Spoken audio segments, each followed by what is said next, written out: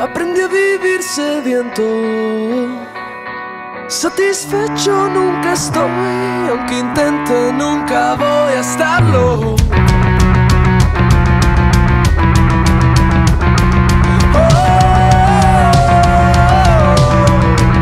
Oh, tengo